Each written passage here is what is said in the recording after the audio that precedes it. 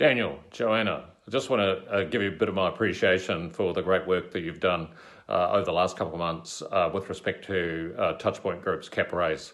Uh, I must admit, I've I've enjoyed working with both you guys. Uh, Joanna, from a marketing point of view, in terms of actually helping with the messaging, which has absolutely been fantastic to get that out to your network, and Daniel, with your ability being able to target very very relevant investor prospects.